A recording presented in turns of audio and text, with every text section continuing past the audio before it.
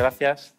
Eh, bueno, pues sí, yo soy Javier Echeverría, trabajo en la empresa Prower. Llevo 10 años mmm, trabajando y participando en proyectos de, de, datos y analítica y los últimos cinco trabajando en analítica avanzada, inteligencia artificial, servicios cognitivos, bueno, Big Data, Data Science, todo este ecosistema de, de soluciones que van más allá de lo que hablábamos antes de analítica tradicional. ¿no? Y en todos estos años, pues eh, siempre nos hemos centrado mucho en, en trabajar eh, poniendo valor a negocio más que en eh, ver qué tecnología o qué eh, metodologías tenemos que ir aplicando por detrás. Entonces, eh, por eso hoy quería hablaros y contaros algunas de las experiencias en las que hemos participado diseñando estrategias de Customer Experience pero evidentemente pues, basado en todo, en todo este enfoque eh, data-driven eh, o basado en datos. ¿no? Y, me, y, me, encanta estar aquí después de, de estas charlas eh, de inicio, porque veo que estamos muy, muy, muy alineados todos, eh, tanto, tanto el público como los ponentes, en cómo abordar este tipo de, iniciativas. ¿no? Quería empezar pues, eso, pues con un dato. Un estudio de Walker Info eh, dice que para 2020 la experiencia de usuario va a ser el principal factor eh, que considere cualquier cliente o consumidor para la compra de un producto o de un servicio. Y esto va, a ser eh, por encima del precio, por encima de, la marca, por encima del propio producto o servicio en sí. ¿no? Lo que significa que, que cualquier interacción que tenemos que hacer con, con nuestros clientes, tenemos que hacer que sea memorable. Y memorable me refiero a no memorable del efecto wow que tenemos en, la niña de la foto, que, bueno, que a lo mejor si trabajamos en parques de atracciones, esto es lo que tenemos que conseguir en cada una de esas iteraciones, pero sí eh, crear eh, ese efecto memoria en cada una de las personas con las que conseguimos interactuar para que no formemos parte de las 6.000 interacciones o impactos que recibimos cada día y a los que al final nunca hacemos ni caso. ¿no? Entonces, eh, se trata de, que estemos preparados para dar ese mensaje correcto a través del de canal indicado y en el momento adecuado a cualquier cliente, persona, usuario, consumidor que se acerque a nosotros o tengamos la oportunidad de, de, de interactuar con él. ¿no? Y esto pues, supone básicamente que tenemos que alinear todos los planetas para que esa experiencia sea, sea la, deseada. ¿no? ¿Y a quién nos enfrentamos? Pues nos enfrentamos a, a todos estos, los clientes hiperconectados, que ya conocemos todos. De hecho, eh, la, mitad estamos con el móvil, la otra mitad tuiteando. Eh, me ha vibrado la pierna y, al final casi pues, eh, resulta que no, es, que no es ni el móvil, pero ya lo siento. Eh, un 61% de la población española usa tres o más dispositivos conectados de forma habitual. Así que, como mínimo, tenemos pues, un móvil, una tablet y un ordenador y estamos intercambiando interacciones entre ellos todo el día. ¿no? Consultamos el móvil una media de 150 veces al día, que es una burrada. 150 veces. Así que, pues, eh, tenemos a gente que está más, más pendiente del móvil que del resto de de, cosas físicas que le ocurren alrededor. Eh, y además, como tiene toda esa información en Internet, en redes sociales, en foros, en webs especializadas, resulta que esta persona no solo está hiperconectada, sino que además está súper informada y a lo mejor llega a nuestra tienda, a nuestro punto de venta o incluso a nuestro e-commerce y sabe mucho más que nuestro equipo de primera línea. ¿no? ¿Quién nos ha encontrado, ya que tenemos la charla de Porsche a primera hora, el que va al concesionario y sabe más que la gente comercial del modelo que le está vendiendo. ¿no? Eh, lo segundo que conocemos de nuestros clientes es que son mucho más exigentes que los de antes. Como hay tanta variedad de oferta y tanta, y tanta diversidad en los impactos que recibimos, el cliente no es leal a las marcas, es infiel por naturaleza y va saltando de una a otra en función de la que le vaya ofreciendo pues, la mejor experiencia. Eh, y esto, pues, os pongo un dato de ejemplo. Cada minuto en España, 14 personas cambian de compañía telefónica. Cada minuto. O sea, lo que estamos eh, viviendo es que como no me ofrece lo que, lo que estoy necesitando, lo que quiero justo en ese momento, tengo la facilidad de irme a otra competencia eh, que sí me lo puede estar ofreciendo.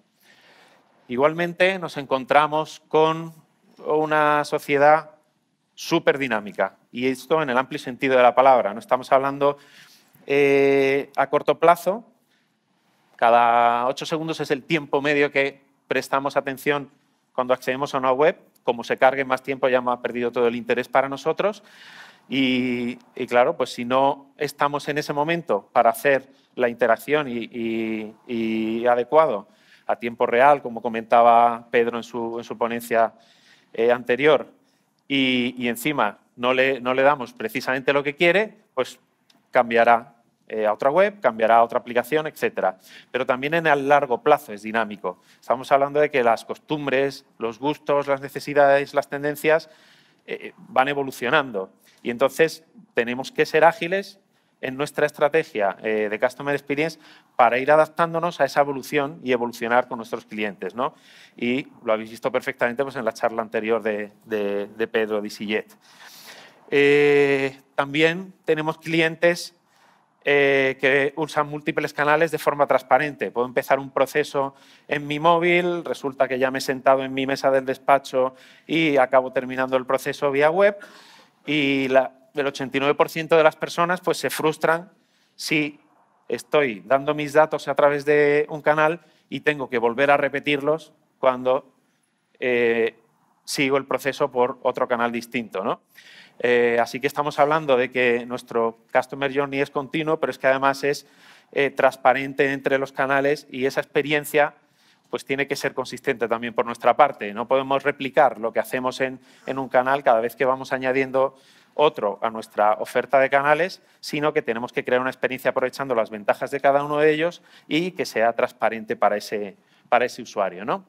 Entonces, eh, lo que estamos viendo es que esta estrategia de Customer Experience al final pues, eh, combina tanto una parte de personalización del mensaje, el producto, el servicio que necesita, quiere o demanda nuestro cliente, que además eh, seamos o tengamos la capacidad suficiente para ofrecerlo eh, adelantarnos y eh, ofrecerlo en el momento adecuado y por el canal preciso.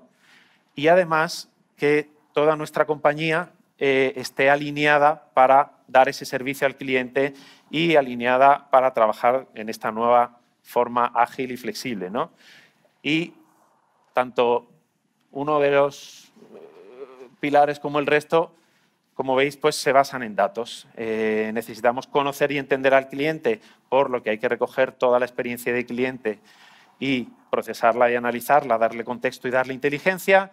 Eh, necesitamos rediseñar nuestros procesos para adaptarnos a esas necesidades cambiantes de, de nuestros clientes y, por tanto, necesitamos recoger esa información de cómo son cada una de las iteraciones y, además, nuestros empleados y toda la compañía, a todos los niveles, debe eh, poder saber trabajar con esta información, saber poder tomar decisiones y no solo eso, sino saber poder medir si de verdad lo estamos haciendo bien o tenemos que ir evolucionando o cambiando algo. ¿no? Eh, ¿Cuál es nuestra visión aquí para estos tres ejes? Pues evidentemente para el primero de entender a nuestros clientes es poner al cliente en el centro de todo. Y esto es, pues en nuestro caso como empresa tecnológica que ofrecemos servicios, es olvidarnos de que tenemos los datos de marketing en un CRM o una plataforma de marketing automation, eh, olvidarnos que tenemos las transacciones en el RP, olvidarnos que tenemos eh, eh, los datos de las llamadas en el servicio de contact center y crear un repositorio no solo de datos de clientes, sino de datos de experiencia del cliente. Cada una de esas iteraciones que tenemos con ellos, recogerlas en un repositorio unificado que luego dé servicio a todos esos departamentos que le van atendiendo a lo largo de sus interacciones con nosotros. Entonces, pues disponemos de datos, pues eso, muy, muy, muy directos como los pedidos, las compras, las facturas, más datos internos que recogemos de nuestros dispositivos, de los clics que se hacen en nuestros entornos digitales, de los registros de las llamadas, eh, recogemos su comportamiento de compra si tenemos eh, comercio online, recogemos, si sensorizamos nuestras tiendas, pues toda esa experiencia física que, que tienen en nuestros puntos de venta. eh, incluso si se conectan a nuestras wifi sociales porque las disponemos, incorporamos datos eh, pues ya externos, como puede ser la meteorología, como puede ser noticias, eh, foros, datos socioeconómicos. podemos además incorporar más información de redes sociales, de webs, de foros, de redes de influencia e incluso podemos adquirir datos de terceras compañías, de banca, por ejemplo, para dar conjunto de transacciones de cómo se comportan por geolocalización o incluso datos de, compañías telco para caracterizar o perfilar los grupos de clientes y a partir de ahí incluso pues podemos ir añadiéndole pues el sentimiento, la actitud, por qué ha ido a nuestras tiendas y de qué manera, cuál es su estilo de vida. Al final, como veis, pues lo que hacemos es recoger eh, una visión completa y holística de las experiencias de cliente y no solo de los datos en sí del cliente. Y todas estas experiencias pues eh, como veis, no solo las tenemos que, recoger, sino dotarlas de un contexto y de inteligencia. ¿no? Y a la hora pues, de, hacer este repositorio de experiencias del cliente, y a lo largo de este tiempo trabajando en este tipo de proyectos nos hemos eh, dado cuenta de que hay una serie de puntos importantes que hay que tener en cuenta. El primero es que esa dualidad entre los datos que tenemos internos y los externos. muchas veces se le da eh, mucha importancia a todos los datos que vienen de fuera. Vamos a recoger todas las redes sociales, vamos a recoger toda la información eh, de los foros especializados eh, de moda, por ejemplo, para las empresas de, retail. el dato único es el que nosotros estamos recogiendo internamente. O sea, todas esas interacciones que hacen con nosotros y que recogemos en ese repositorio son únicos porque a esas redes sociales, esos datos del tiempo, ese dato socioeconómico que nos puede vender eh, la banca, también puede acceder nuestra competencia. Entonces, al no ser que vendamos botas de agua y el clima pues sea el dato súper relevante que tenemos que, que, seguir para, por ejemplo, predecir la demanda de nuestro producto el próximo fin de semana, la mayoría de la información externa que recogemos nos sirve para dar ese contexto a los datos internos y únicos que tenemos en la compañía. Eh, otro punto importante es eh, la recogida de los datos en los espacios físicos. Estamos muy acostumbrados en los comercios electrónicos, la web, a recoger toda la trazabilidad, navegación, todo el, proceso que han seguido los clientes, cuándo dejan la cesta, cuándo la recogen, qué productos soltaron, pero luego cuáles recogieron. Pero llega el espacio físico, nuestros puntos de venta repartidos por nuestra red de distribución y de repente empezamos a tener lagunas de cómo recoger esta información. ¿no? Y, ahí pues la tecnología nos ayuda por un lado, pero eh, dentro de la estrategia podemos incluso plantearnos, bueno, pues si no lo recojo con un sensor, con la aplicación móvil porque la detecto cuando entra, o con la wifi social, o con los beacons, eh, RFID, cualquier tecnología que utilicemos en la tienda, podemos crear, eh, pues pedirlo directamente al cliente. No estoy hablando de pedirle 100.000 datos, pero a lo mejor en cada punto de interacción nos permite recoger pues, eh, un código postal, como hace, como hace Leroy Merlin, o recoger pues, un punto de entrega, etc. ¿no? Esto enlaza pues, con las restricciones legales. Al final, tenemos que tener en cuenta a la hora de recoger datos que algunos de ellos son de carácter personal y nos tenemos que adecuar a en este caso en Europa, la GDPR, pero no me refiero ya al ámbito europeo. En cualquier país existen restricciones legales y pues tenemos que tener en cuenta a la hora de recoger, almacenar esa información, pues que hay que seguir una serie de procedimientos para cumplirlas. ¿no? Eh, también que esa manera de recoger los datos y de contar con toda la información de experiencia en cliente no debe afectar al rendimiento. Es decir, eh, yo puedo plantear que recojo datos en tienda, pero como le pregunte 20 eh, datos de contacto a mi cliente, pues la experiencia del cliente va a ser nefasta. ¿no? Y además eh, voy a incurrir en el siguiente punto, que sería el intrusismo a la hora de, recoger su información. Y cuando alguien se siente invadido, pues lo que hace es mentir o salir por el camino de en medio. Participábamos en un proyecto con una, con una aerolínea, que no era EasyJet, y y analizando cómo se recogía la información eh, en una serie de formularios que tenían en su página web, nos dimos cuenta de que la mitad de los clientes eran de Afganistán. Y eso que la aerolínea ni tenía vuelos a ese país. Resulta que, analizas cómo, cuál es el formulario y tenían que rellenar como unos 50 campos y cuando llegaban al campo país, pues dejaban el primer campo que había por defecto, pues que era Afganistán. ¿no? Así que imaginaos eh, en qué quedaba la calidad de la información que estábamos recogiendo a través de ese formulario. ¿no? Eh, cuando llevaba el tercer campo, el cliente pues, los dejaba en blanco si podía, le ponía un 0, un 1, como digo, dejaba el combo de países en el primero, etc. ¿no? Y es otro de los factores que tenemos que tener en cuenta. Para poder trabajar con datos, los datos pues, tienen que ser de calidad. Y para poder procesarlos, pues tenemos que mantenerla si es información interna y tenemos que asegurarnos que si es información externa, pues es fiable y está actualizada. ¿no? Y por último, pues eh, lo que tenemos que darle es, como decía, ese contexto, esa inteligencia y ese análisis para poder de verdad ir más allá y anticiparnos eh, a la próxima interacción que tenemos con el cliente. Y en este sentido, pues eh, siempre hemos distinguido cuatro niveles, ¿no?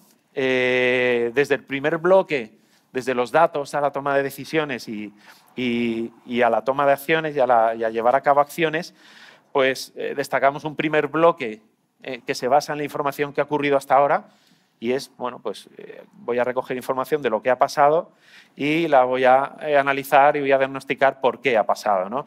Y esto es toda la información que tenemos pues del pasado hasta el día de hoy, incluso, ¿no? Pero, evidentemente, como nos tenemos que anticipar a dar ese mensaje adecuado a través del canal correcto en el momento preciso, pues tenemos que adelantarnos a, esa interacción y tenemos que empezar a trabajar con el segundo bloque, el de análisis avanzado, el de inteligencia artificial, en el que podemos aplicar Machine Learning, modelos algorítmicos y determinar cómo va a ser esa interacción, qué va a demandar, cuál es su necesidad, a través de qué canal lo va a hacer. Y no solo eso, sino eh, llegar hasta un punto en el que, en el que podamos eh, automáticamente eh, recomendar una serie de acciones para esa interacción, incluso simular escenarios eh, que se puedan plantear o incluso automatizar ciertas acciones. Y con automatizar ciertas acciones cubre todo el espectro desde que a través de un segmento de clientes yo automatice un mail de una promoción para un, nicho concreto hasta que mediante servicios cognitivos un cliente me mande una foto de los defectos que tiene su coche y automáticamente se puede hacer una peritación online y se manda a su aseguradora. O sea, me refiero que hay un sinfín de acciones que se pueden automatizar aplicando servicios cognitivos, aplicando inteligencia artificial y basándonos en anticiparnos a esas eh, acciones del cliente. Y este valor que aporta, y en este punto eh, os puedo destacar eh, dos cosas importantes. La primera es que da igual en qué punto nos encontremos de todo este ciclo y cómo analicemos la información, que como eso no derive en una acción concreta, no nos habrá servido de nada. Tendremos mucha información y sabremos mucho de nuestro cliente, pero no tendremos ningún resultado accionable. Entonces, eh, no tendrá sentido en nuestra estrategia. Y el segundo es que cuanto más avanzas, evidentemente, a lo largo de este proceso, más valor estás aportando a, a la experiencia del cliente y, por tanto, más valor estás aportando a tu negocio. ¿no?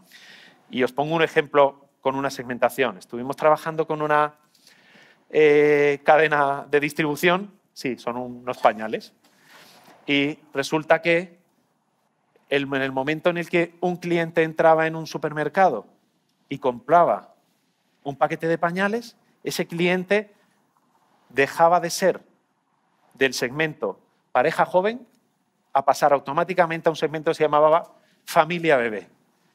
Y en ese momento da igual lo que le interesara antes, que ahora todo iba a ir enfocado a que formaba parte de familia bebé. Entonces, daba igual que en ese supermercado vendieran comida asiática y el hombre la consumiera todas las semanas, sino que todas las ofertas y promociones iban a ir enfocadas a que tiene un hijo. Porque además los segmentos, en, ese momento eran 15 segmentos estáticos y predefinidos, y predefinidos eh, eran excluyentes. Si tú ya pertenecías a familia bebé, automáticamente ya dejabas de pertenecer a otro. ¿no?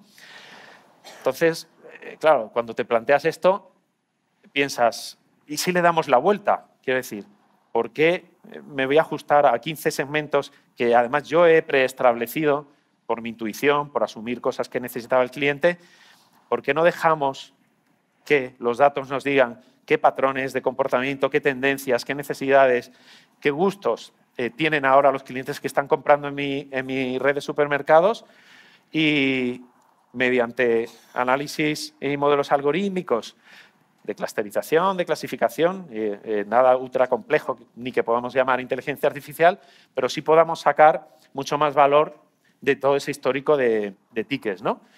Y eso es lo que hicimos. De repente nos encontramos eh, caracterizando 200 segmentos adicionales que encima bueno, pues eran tan peculiares como pues eso, los solteros supervivientes que hacían compra de, de de mucho producto congelado y del día a día y que vivían día a día. Tenemos la gente de 40 que ha vuelto a hacer deporte. Tenemos los mayores que le encantan los cupones o la, o la familia que hace la compra en piloto automático y siempre repite la misma lista. ¿no? Y, y, de hecho, además, todos estos segmentos encima no eran excluyentes. Eh, nos encontrábamos con que eh, yo podía pertenecer a, una, a un segmento de, de parejas que les gusta organizar cenas en casa, pero es que en un 90% me identificaba con ese segmento, pero en otro 20% me podía identificar con el de, por ejemplo, los 40 que vuelven a hacer deporte. ¿no?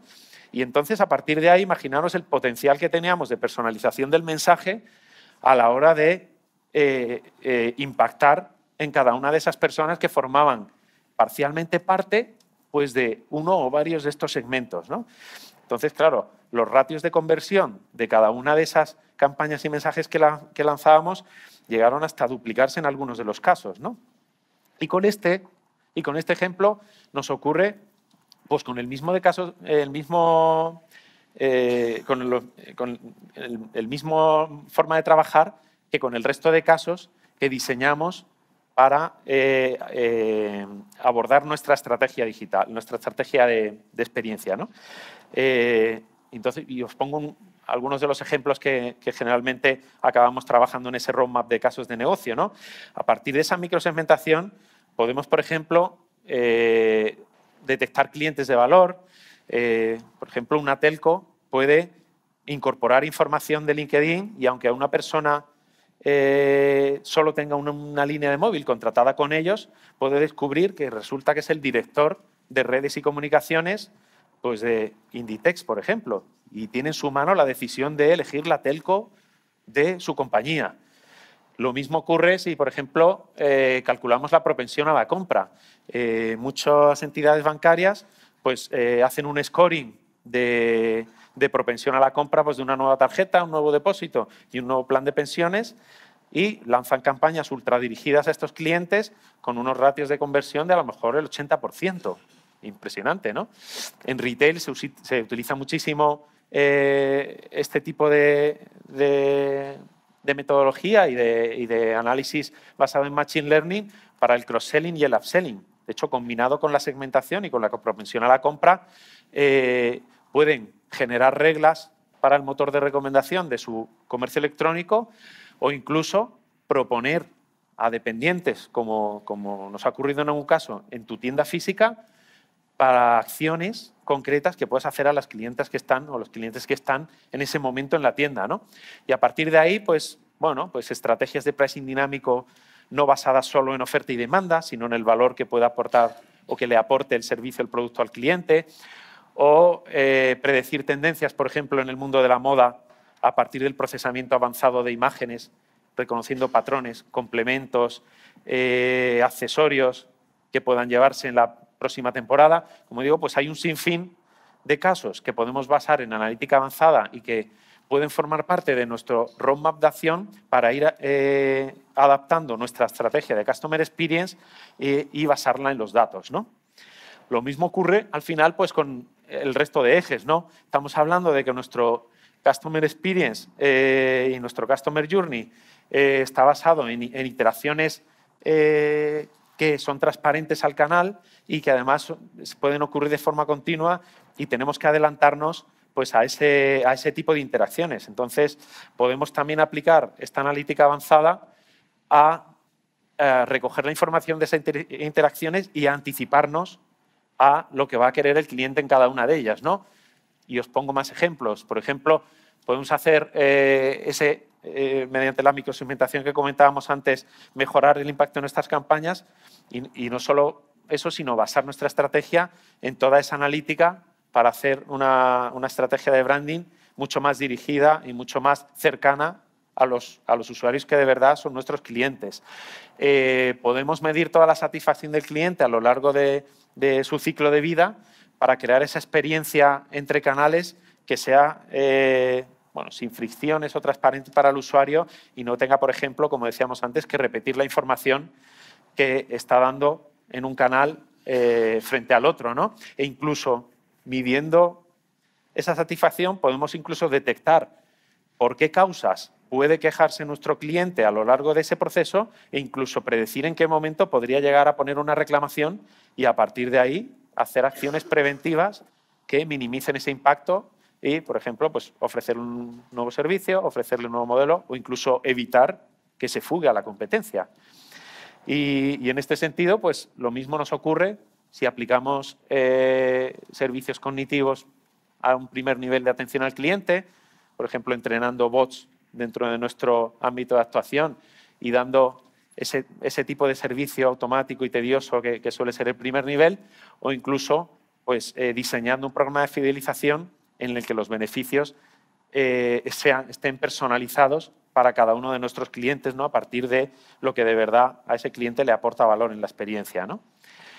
En el segundo eje que os comentaba, en el que buscamos el rediseñar los procesos, pues también nos encontramos que podemos aplicar analítica avanzada y inteligencia artificial en todo el ámbito de la excelencia operativa. No podemos eh, entender a nuestros clientes, conocer su contexto, dotar de inteligencia y anticiparnos a sus necesidades y luego no poder dar respuesta a esas necesidades. ¿no?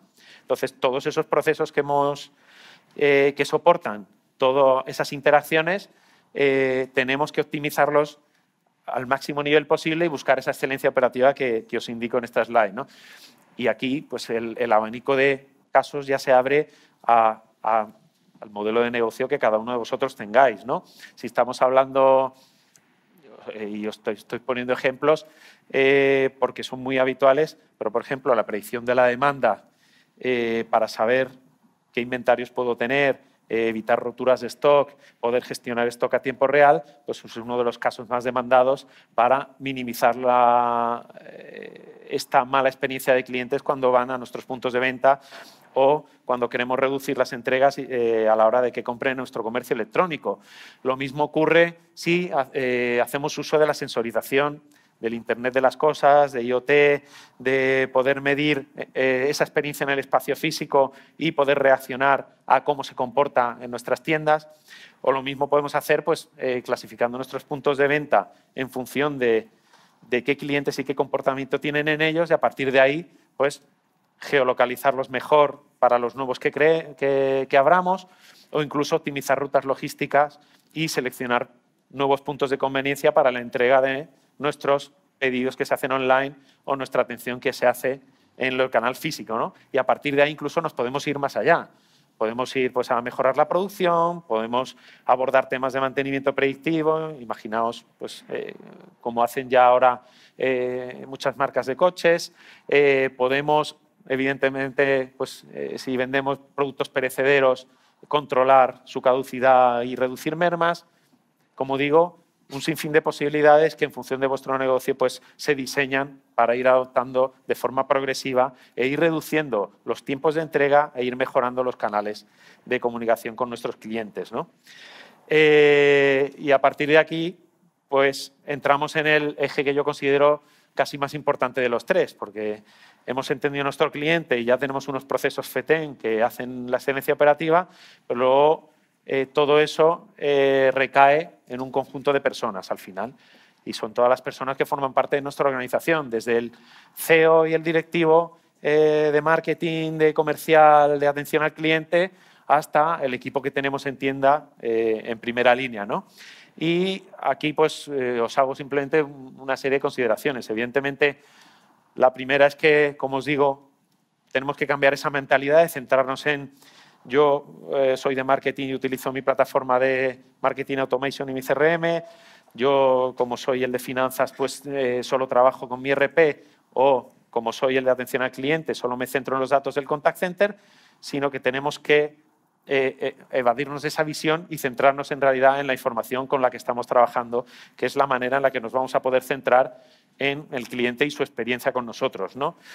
Lo segundo es que, evidentemente, al basarnos ahora en eh, los datos, en información objetiva, fiable, eh, pues podemos rediseñar nuestras decisiones. Ya no tenemos que tomar esas decisiones, y me refiero a todos los niveles, esas decisiones basadas en nuestra intuición o en la experiencia, sino que tenemos información contrastada para poder de verdad llevar, tomar a cabo esas decisiones y diseñar las acciones que vamos a llevar a cabo a partir de las mismas. ¿no?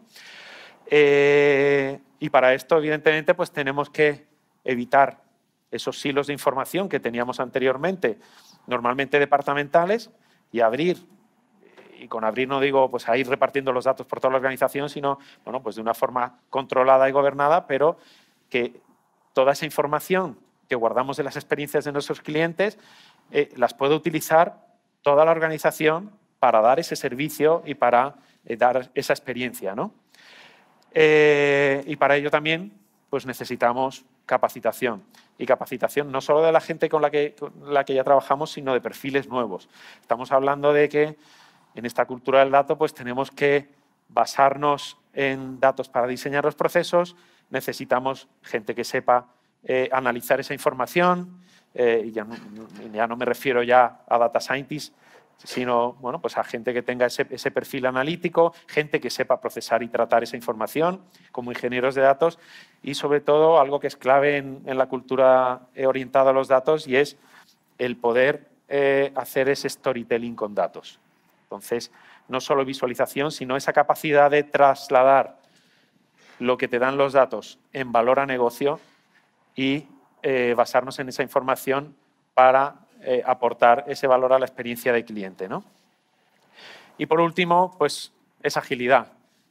Los proyectos de toda la vida que se basaban en datos, los diseñabas, te tirabas meses y meses trabajando esa información, de repente pues sacábamos unos insights sobre el cliente y resulta que llegaba el de marketing y decía, bueno, es que mi cliente ya ha cambiado y esta información ya no me vale. Evidentemente, en ese mundo dinámico que os he comentado al principio, pues necesitamos esa agilidad en la organización y en adaptarnos y adaptar esa estrategia a esa evolución de las costumbres, los gustos y las necesidades de los clientes. Eh, ¿Cuál es el siguiente nivel? Y aprovechando que venía Iván de Porsche, pues lo voy a poner con un ejemplo suyo.